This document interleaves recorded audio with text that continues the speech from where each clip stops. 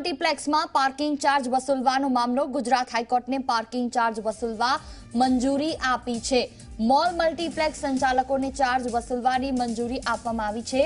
એક કલાક સુધી ફ્રી પાર્કિંગની આપવી પડશે સુવિધા.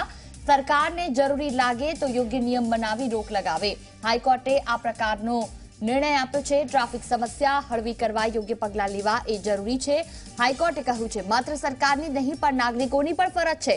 સરકાર પાર્કિંગ પોલિસી બનાવે તે હિતાવહ છે, પરંતુ તમામ નાગરિકોએ તેને માન્ય પણ રાખવી પડશે. એટલે મોલ મલ્ટીપ્લેક્સ વાળા હવે પાર્કિંગ ચાર્જ વસૂલી શકશે.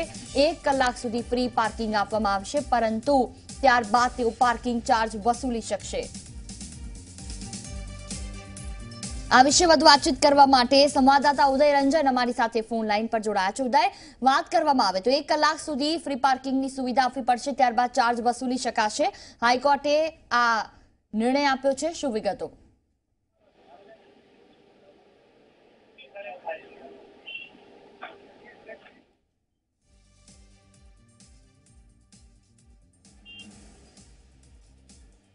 તો આજ વિશે વધુ વાતચીત કરવા ઉદય રંજન, સંવાદદાતા મારી સાથે ફોન લાઈન પર જોડાયા છે. ઉદય મોલ મલ્ટીપ્લેક્સમાં સંચાલકોને ચાર્જ વસૂલવા માટે મંજૂરી આપવામાં આવી છે.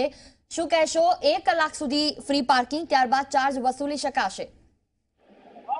જરૂરથી વાત કરવામાં આવે તો જોઈ, જે પ્રમાણે રાજ્યભરમાં ટ્રાફિકની એક ઝુંબેશ જે ચાલી રહી હતી, દબાણની એક ઝુંબેશ ચાલી રહી હતી, તેમાં ક્યાંક ને ક્યાંક પાર્કિંગનો મુદ્દો પણ સામે આવ્યો હતો.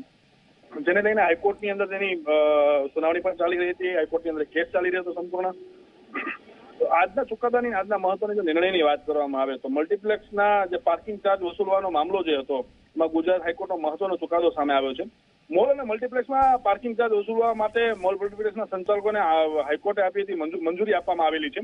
અને સરકારના નિર્ણયની કોર્ટની બહાલીના મળી છે. સરકારને જરૂર લાગે તો યોગ્ય નિયમો બનાવી અને રોક પણ લગાવી શકે છે. ટ્રાફિકની સમસ્યા હળવી કરવા માટે યોગ્ય પગલાં લેવાની જવાબદારી માત્ર સરકારની જ નથી. આ સહિત નાગરિકની ફરજ પણ ફરજ છે કે સરકારને પાર્કિંગની પોલિસી બનાવવા માટે હિતાવહ યોગ્ય નિર્ણય લેવામાં આવે અને જેમ બને વહેલી તકે આ પ્રકારનો નિર્ણય લઈ અને જાણ કરવામાં આવે. બિલકુલ, તમામ જાણકારી બદલ આભાર, ઉદય. તો એક કલાક સુધી ફ્રી પાર્કિંગની સુવિધા આપી શકાશે, ત્યારબાદ કોઈ પણ મોલ મલ્ટીપ્લેક્સના સંચાલકો પોતાની રીતે પાર્કિંગ ચાર્જ વસૂલી શકશે.